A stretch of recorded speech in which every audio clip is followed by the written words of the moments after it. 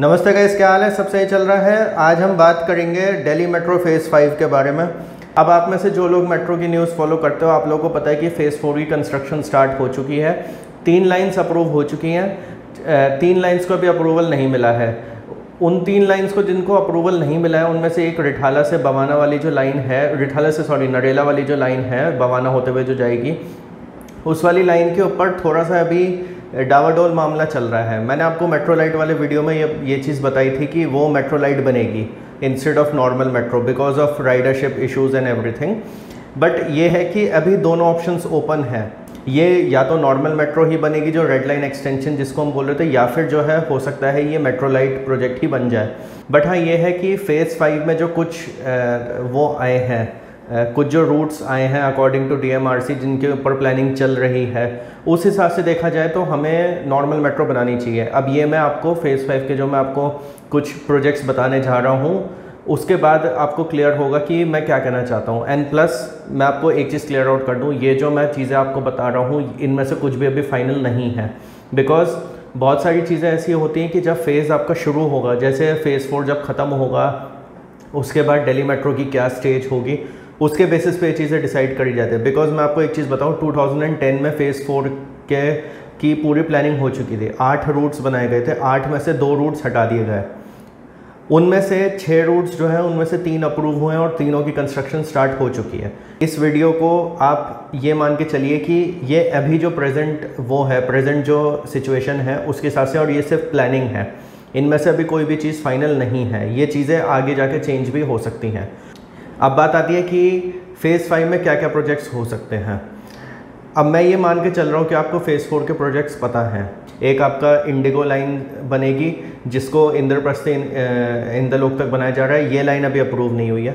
एक Lajpat Nagar to Saket G block वाली line है, वो अभी अप्रूव नहीं हुई है। एक रिठाला टू भवाना है, ये अभी अप्रूव नहीं हुई। ये तीनों अप्रूव नहीं हुई है। जो अप्रूव हुई है, वो बताता हूँ। जनकपुरी वेस्ट टू आर के आश्रम, जो मजेंडा लाइन एक्सटेंशन है, वो अप्रूव्ड है। इसके अलावा पिंक लाइन का जो एक्सटेंशन है मौजपुर से मजलिस पार्क, वो अप्रूव्ड है कंस्ट्रक्शन स्टार्ट है। और तीसरी लाइन जिस, जो अप्रूव्ड है कंस्ट्रक्शन स्टार्ट हो चुकी है, वो है तुगलकाबाद से एरो सिटी तक। तो ये तीन लाइन्स जो हैं, इनकी कंस्ट्रक्शन भी स्टार्ट हो चुकी है, ये अप्रूव भी हो चुकी हैं।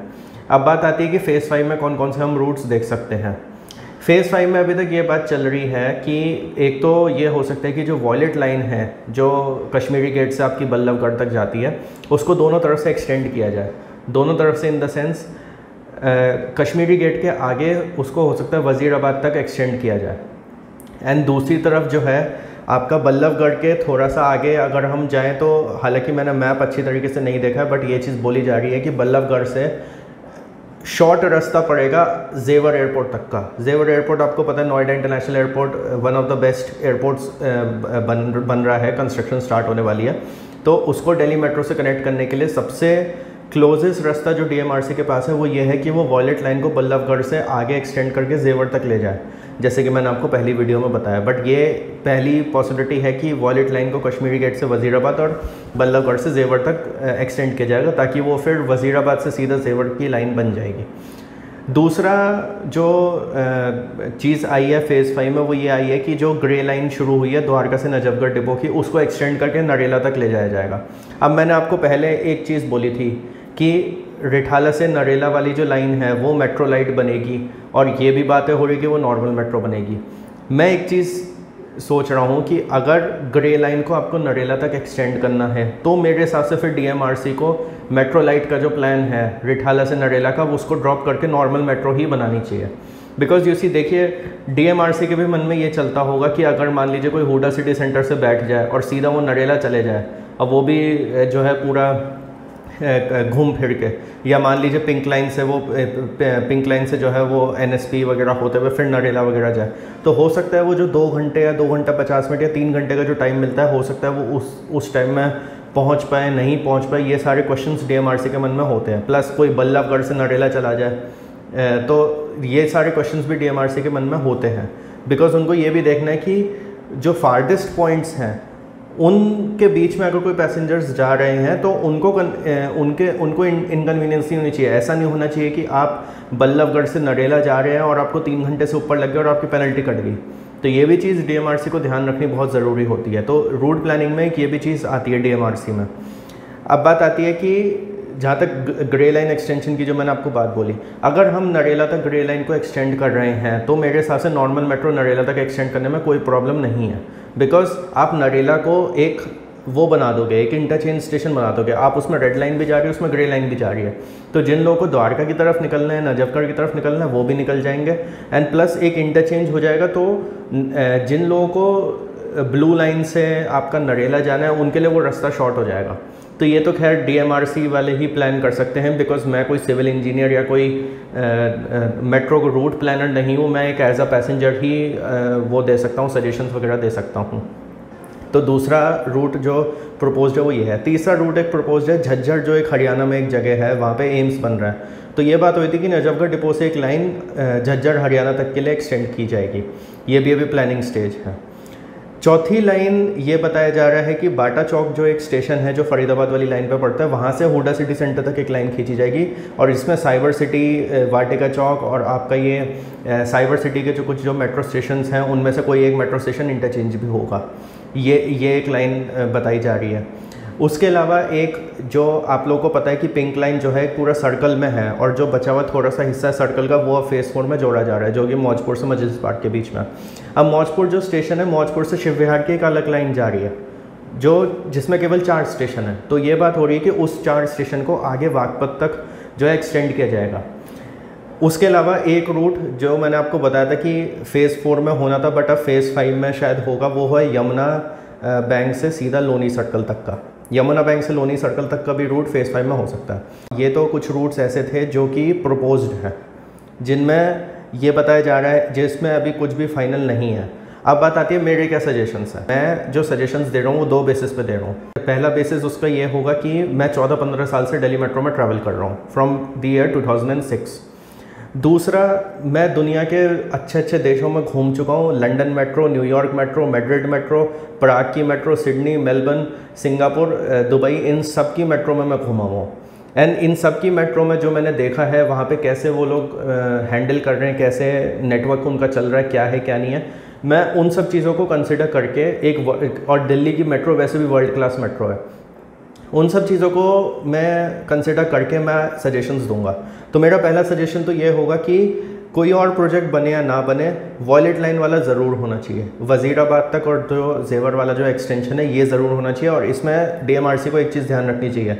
कि आप जो वज़ीराबाद तक एक्सटेंड कर रहे हो, वज़ीराबाद के पास ही आपका पिंक लाइन का वो बन रहा है, जो अभी मजलिस पार्क से मौजपुर वाला जो रूट है, वो बन रहा है। तो मजलिस पार्क के बाद जो चार स्टेशन है, वो उसमें एक सूट घाट है, एक वो है, झरोरा है, एक जगतपुर विलेज है, एक बुरारी है।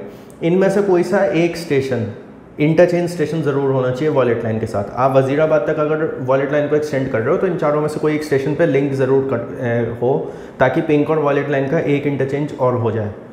तो पहला मेरा सजेशन तो ये रहेगा कि वॉलेट लाइन एक्सटेंशन ज़रूर होने चाहिए। दूसरा मेरा सजेशन ये रहेगा, जैसे कि मैंने आपको ग्रे लाइन के एक्सटेंशन के लिए बोला कि अगर आप उसको नरेला तक खींच रहे हो ग्रे लाइन को तो आप फिर फ़ेज़ फोर में रिठाला टू नरेला जो है नॉर्मल मेट्रो बनाओ मेट्रो लाइट बंद बनाओ। तीसरा मेरा सजेशन ये है कि जो ग्रे लाइन हम लोग अगर द्वारका से नरेला तक खींचेंगे वाया नजफगढ़ वगैरह तो उसको अगर डीएमआरसी चाहे तो ऐसा भी कर सकते हैं कि द्वारका से दूसरी तरफ़ एक्सटेंड करके उसको डाबरी मोड़ या मजेंटा लाइन का कोई एक जो स्टेशन है, जो जनकपुरी वेस्ट से पहले है, उससे जोड़ दें। उससे क्या होगा? मजेंटा लाइन से एक कनेक्टिविटी और हो जाएगी। चौथा मेरा सजेशन ये रहेगा कि इफ़ पॉसिबल हो, अब आई डोंट नो ये पॉसिबल हो सकता है, नहीं हो सकता।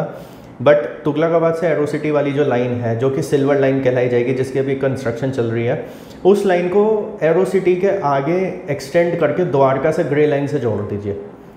अब मेरे को नहीं पता ये कितना पॉसिबल है, कितना नहीं है बट डीएमआरसी जानते कि हो सकता है, नहीं हो सकता। ये चीज़ मैंने डीएमआरसी को एक ईमेल में भी लिख के भेजी थी कि फ़ेज़ फाइव में जो है आप हो सके तो इन दोनों लाइंस को आपस में जोड़ दीजिए। सिल्वर, वो जो ग्रे लाइन है, उसको आप सिल्वर लाइन ही बना दीजिए। उसको आप तुगलकाबाद से सीधा नजफगढ़ डिपो कर दीजिए और बाद में उसको नरेला तक एक्सटेंड कर दीजिए। उसमें ये होगा कि आपका जो है वो तुगलकाबाद से नरेला तक की सीधी लाइन बन जाएगी।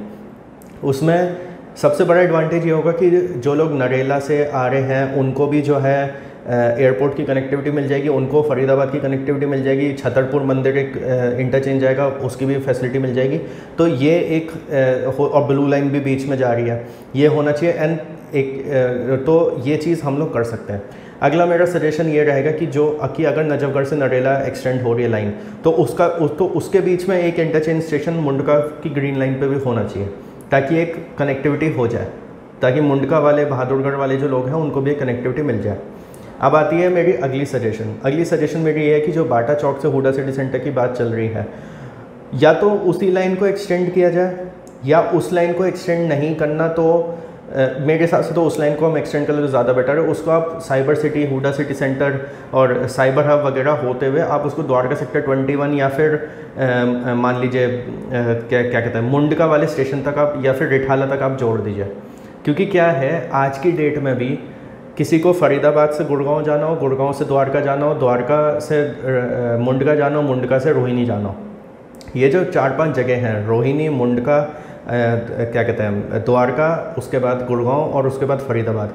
ये पाँचों जगह जो हैं, इनकी कनेक्टिविटी इवन मजेंटा लाइन और पिंक लाइन बनने के बाद भी फ़ेज़ फोर ख़त्म होने के बाद भी थोड़ी लंबी रहेगी। अब फ़ेज़ फोर जब ख़त्म होगा, मान लीजिए किसी को मुंडका जाना है फ्रॉम फरीदाबाद। वो फरीदाबाद से आएगा पहले आपका कालका जी मंदिर। कालका जी मंदिर से फिर वो सीधा जाएगा पीड़ागढ़ी। पीड़ागढ़ी अभी स्टेशन अंडर कंस्ट्रक्शन है, जो जनकपुरी वेस्ट के आगे बनेगा। पीड़ागढ़ी जाएगा, फिर पीड़ागढ़ी से मुंडका जाएगा। तो बेटर है कि आप बाटा चौक से ही उसको कनेक्टिविटी एक दें।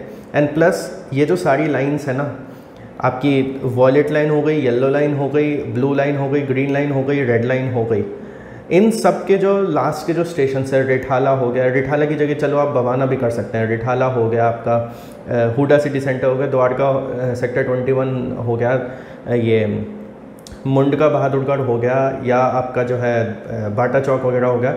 एक लाइन ऐसी भी होनी चाहिए जो इन सारे स्टेशन को कनेक्ट करे। बिकॉज़ सारा जो भी ट्रैफ़िक है, वो सब कालका जी मंदिर के थ्रू जाएगा या फिर लाजपत नगर के थ्रू जाएगा। हालाँकि नो डाउट मजेंटा और पिंक लाइन से बहुत वो हो गई है, बहुत कन्वीनियंस हो गई बट आई थिंक ये अगर किया जाए तो और अच्छा होगा।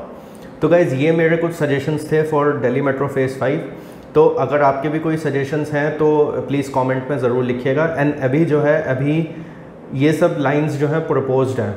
मेरा ये वीडियो बनाने का भी मेन मोटिव ये था कि फ़ेज़ फोर ख़त्म होगा 2024 तक। तो अभी क्या है, अभी डी ड्राइंग बोर्ड पर है। तो अभी ये वीडियो जो है, अगर डीएमआरसी में से कोई देख रहा है तो उनको एक रफ आइडिया मिल रहा है from a passenger and plus someone who has travelled in global metro systems London metro मैंने बहुत एक्सटेंसिवली घूमी है। एंड मैं आपको एक चीज़ बताऊँ, कोई भी मेट्रो सिस्टम को सक्सेसफुल बनाने के लिए दो चीज़ें सबसे ज़्यादा ज़रूरी हैं। एक लाइंस जितनी ज़्यादा हो और एक इंटरचेंज स्टेशन जितने ज़्यादा हो। तो मैंने जो भी चीज़ें जो भी सजेशंस दिए वो इन दोनों चीज़ों को ध्यान में रख के ही दिए।